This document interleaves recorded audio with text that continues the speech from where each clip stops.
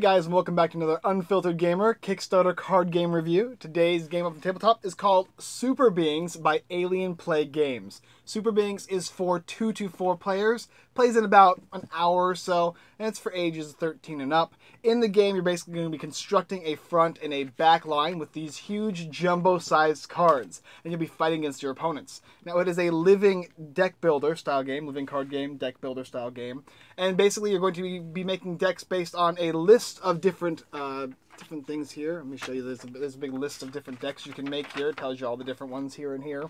But you can also go ahead and make your own different decks to create the de the deck of scheme cards, things you can do like tactical offenses as well as tactical defenses, scheme offenses, and then also different types of creatures in the deck. And there's tons of creatures to choose from just alone in this box that we have here for the prototype. A lot of stuff going on here. But that is the basic idea of the game. You're going to set up a front and a back line, be attacking each other with with different abilities and stuff like that. Let me go ahead and show you what it looks like.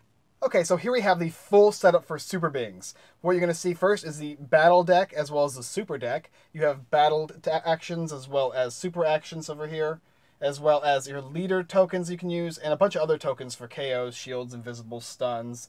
Uh, you have DC checks for these dice over here, which is just little alien die as well as a bunch of extra random die we will be using for either combat or wounds or whenever they're needed because some of the cards will actually require you to need these. Now let's go through the setup. And the first thing you're going to need to do is go through these decks here. One player will start off and you're going to see the super rank here. And you're going to need to pick, pick any ones of them that have three or less and it's going to be randomized. So here's a three, nice. And this is a three and one more super rank three. Okay, that was nice. Nice, easy setup. On this side, you have a super rank of 3, uh, and this one says a super rank of 5, so this will go to the bottom of the deck over here. And then a super rank of 2 and another super rank of 3. Now that's going to set up your front line. You're also going to have a back line which you can actually add cards to, but for the basic setup, this is all you need to do. Also, you're going to need to add some, yourself some action credits. I think it is three action credits apiece, as well as the first player will get to draw one of these scheme and or battle cards to begin their turn. To start your turn, you simply draw a card from the battle deck. After that, you're going to give yourself three action points, and during your turn, you can keep up to 12 on a big die. However, you might gain additional ones, and at the end of your turn, you're going to lose those if you don't if you don't use them. Afterwards, you're going to take actions, and there is a plethora of different actions in this game, which we'll get into when I show you how to play a couple turns. Then you're going to have the early attack phase, which involves a lot of different things that cards will do during the early attack phase before attacking happens. Like, for instance, this guy here, once per game during the early attack phase, you can target and roll the DC dice, the little alien guys I was talking about for each opponent on the battlefield, and for each of those targets, you can then stun them. So a nice little uh, pre-attacking phase action. Afterwards, you're going to do the attack phase, which is simply you're going to roll a d12, and you're going to gain um, action credits based on the number you roll. After that, you're going to uh, go through a main phase in which you can do any of the actions you want to again without actually rolling the die or adding any of these bonuses to you or adding any of these extra action credits to you. And then you're going to pass your turn. Now remember, the last player is the only player at the beginning of the game who can actually perform any of the attack phase options. Um, as well as you have to have your character in the POW mode in order to do so. But anyway, let me go ahead and show you the game and how a couple turns work. So it's my turn first over here, and I've already went ahead and drawn a card, as well as given myself three action credits, because that's what you do at the beginning of your turn. Afterwards, you're going to go ahead and take any actions you would like to take. There's a plethora of different actions, and I'll go ahead and go through them with you right now. The first thing you can do is draw a super card and place it in your back row, and that would cost you one action. So for your entire turn, you could, if you wanted to, fill up your entire back row.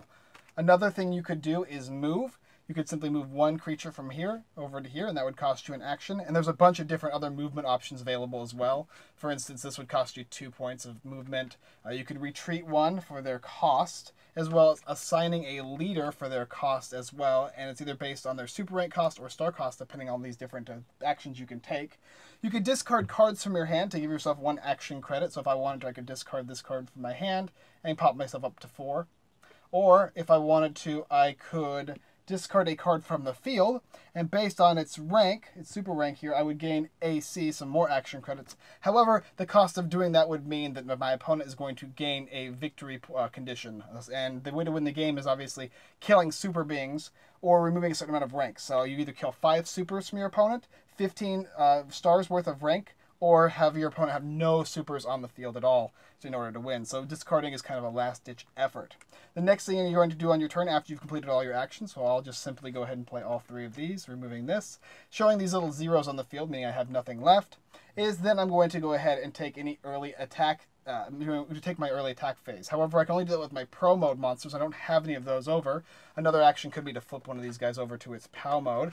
So I'm not going to go ahead and do that. Oh, POW mode was where you would attack, so you have to flip this over to do its POW mode in order for you to attack. But I'm not going to do that. I already spent all my actions. Plus, you can only attack during the attack phase if you have a monster in your POW mode, as well as being the last player at the beginning of the game. So that would mean that the second player could attack and the first player could not. And in a four-player game, the fourth player could attack and the first three could not. Then you're going to go back to your main phase, take any more actions you want. If you have any actions, I don't. And then pass the turn and so on and so forth. The next player would get to go, gaining his three, getting to draw one of his cards. He can then play any of these things he wants to put down, just like this. Maybe he wants to flip over one of his cards. And now that he's done that, he can go ahead and take a part in the uh, early attack phase if he wants. He checks to see if there's anything that has to do with early attack phase, and there isn't. So, oh, here's one. Once during your early attack phase, uh, declare cannon as an invincible and shielded. So if he wanted to, he could actually give himself a shield and uh, invincible right now, which would be kind of cool. However, he could also attack, and the way you attack is pretty simple. You roll a d12. We'll just go ahead and take one of these bad boys over here, and you add that to your your attack credits. So it would go to 10 here. Now, like I said before, you can only have these guys at max and any additional ones you were to gain. So if you had an additional 5 here, if you didn't spend this and this was 12, this would go away. So you can only have max there.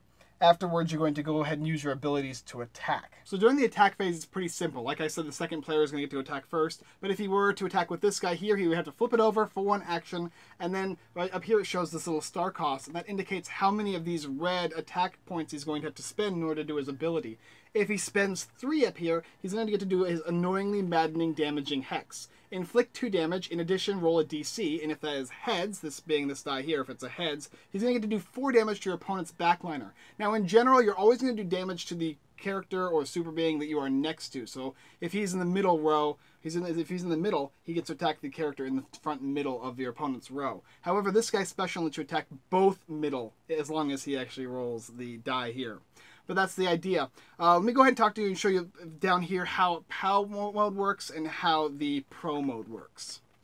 So now we're back to the battling step of the game, and like I had shown before, I put two monsters out and I flipped him over to the POW mode, and that removed all of my actions, but I did get to roll for my battling, and I got 10, which means that I can use his ability. Now, during the pre-combat phase, I can simply give him a invisible and a shielded token, which means that he can he's 50% less likely to be hit, and when he does get hit, he takes half damage and he can't be stunned. Pretty cool right there. But also, he can then be spending three of his attack actions, so going 10, 9, 8, 7, let me find the 7 here, right there, and he can use his ability, Rapid Energy Cannon Blasts. So I simply roll a DC, if heads, which it wasn't, I would do nothing, but if it was heads, I would target all my opponent's monsters on the field, and and it says inflict one damage to all threes, two damage to all four ranks, three damage to all five, four, so on and so forth. So for all of my opponent's monsters, they would take damage based on their ranks. So let's go ahead and look over here. This guy's a rank three, so he takes a damage. These these are all rank three here. No, this is a rank two, so he doesn't take any damage. That's nice. And then in the back row as well, super rank four, and that says two damage, I believe and 5 is 3, and 3 is 1. So he just did a bunch of damage to all of my guys. Now what happens too is if you look at this pro mode over here, it shows you a number. These are the health of your monsters. And if the monster takes over that damage, over that, that threshold here of 7, if it takes 8, it's going to flip over into its POW mode. And then once it dies in its POW mode, it is gone. So you could choose to keep it in its defensive positioning if you just want to use any of its abilities maybe, or just keep him alive as long as you can. But when you flip them over, that's when you get to do your attacks and all your special abilities and whatnot. But they're likelier to be killed quicker. Now, obviously, if a creature dies, well, obviously, but when a creature dies from a leader card, so for instance, if he actually spent all of his actions on this guy, or two of his actions to make him a leader, he could then attack this guy provided he was able to. And if a leader can kill a monster in the back row, it simply dies. It doesn't have to go to its POW mode. And that's when you're going to get bonuses. That's when you're going to get uh, the closer to winning the game because you need to kill five monsters, 15 points of monsters, or simply remove all of your opponents on the monsters on the field, which this cannon guy can pretty much do, provided he's able to stay alive long enough. And then the turn would pass again. The next player would get to draw his card, get more actions, do anything he wants as far as moving is concerned, and flipping over, and then attacking if he's able to by rolling this, rolling one of these guys die. One, Alright, so maybe one wouldn't be a very good one. But he would be able to use, if he had three, be able to use certain things. This one says take do damage, roll DC, and you can do damage to your target on the other side, like I was talking about before. And they all have different things like that. And yeah, that's the basic idea of how to play the game. You're killing each other's monsters, using these huge cards to play these other special tactic cards here. This one over here says once during your end phase, each player puts all the cards into their hand back into their battle deck and then draws cards equal to the number of supers on the battlefield. Wow, that's a really, really crazy one as well as you're going to have schemes they're going to lay on the battlefield. You have more tactic offenses. There's tons of cool, crazy cards that are going to be able to be going to be able to uh, affect the way the game plays. On defense, after a super of yours is KO'd, draw three battle cards, and this one has a it's a scheme, but it has a two timer. So that's pretty good, but it only lasts for so long. But so on and so forth. There's just a bunch of cool cards like that. But that is the idea of how to play Super Beings, the jumbo card game. So Super Beings by Alien Play Games. Well, what do I think about it? Well, first of all, it's a huge card game. If you don't like games that have huge cards, you're not going to like this one. It does take up a lot of space, and it has some really unique artwork. I really, actually, really like this kind of comic booky style art. All the different characters, and if you notice, there's a lot of little Easter eggs involved in the game with all these different, there's so many characters. And front and back, different art for both sides. Really, really cool that they did that. If you like this comic booky art, you're going to like it as well. The front and back aspects where you're attacking back and forth. There's a ton of actions in this game. I think that might be a little confusing for quite a few people if they have to go through it um, one step by step. But I actually made a really nice little card, and I think it might be included in the game later, a little reference card that will indicate all the different abilities you can do, as well as maybe even subsidizing them down. Simply moving as opposed to the cost of this is two, and this is one, and this is four making it all uh, more cohesive would be a good idea. But the game plays pretty well. It's just a simple dice rolling strategical combat placement game. Uh, the living card game aspect is really cool. I like the fact that you can set up your own decks as well as they give you your, they give you a unique setup for the beginning starter decks. Uh, the scheme cards work really well. I enjoyed playing them against my opponent. There's a lot of take that action when it comes to these scheme cards, as well as a lot of tactical uh, things that you can do, like saving for your next turn kind of placements. Like, okay, I know he's going to move this space here, and I'm going to be able to attack this guy. And I might kill him, so I'm going to probably play this card now so that I can draw these cards later. A lot of cool different actions involved there, as well as the fact that it's not too much luck, right? You, the idea is everybody's going to get the same amount of things throughout the entire game. The most, the most luck, I guess, will be involved in the battle deck and how you're pulling these cards out and which ones you're going to get and how strong they are. Uh, right now, some of the cards are a little unbalanced, but as far as I'm, as far as I've known, they've been changing the different uh, unbalancing issues throughout the game. But I just want to let you guys know about that. A lot of them are they work very very similar and have a lot of different unique super being powers. Was they can attack the backline or attack, attack a multitude of different characters. Like just this cannon one, which is so funny. He gets to be shielded and invisible, and he gets to hit the entire field of your opponents. However, he has a low health, so he can be killed. Um, the different stunning and shielding and invisible and stuff like that makes it very makes it very simple to understand and playing all these big tokens makes it easy for people that are even a little older to play this game. Once you get the basic idea of it down, it's a fairly simple game to play and the concept is really easy. Everything kind of melds together and works really well. I definitely like this game. I'm definitely going to play it more. I'm excited to also announce that we will be doing this live, I believe, this week on Wednesday. So if you're interested in checking out this game and seeing if you're interested in it for yourself, I do suppose you should do that.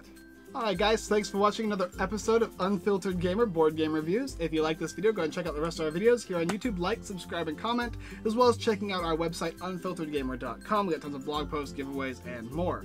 Also, don't forget to check out Super Beings, which is currently up on Kickstarter. If not, it's very soon to be up on Kickstarter. As well as checking out our live play. We're going to be doing it throughout the entire morning aspect with the creators to show you exactly how the game plays and see if you're interested in picking up this jumbo uh, deck building slash uh, living card game. So do go ahead and check it out. We appreciate everything, all the support and everything you guys done done for us, as well as checking out our affiliated sponsor sites, everythingboardgames.com, Devatoast Gaming, and The Giveaway Geek. Alright guys, well that's it for this video, and once again, I look forward to seeing you next time.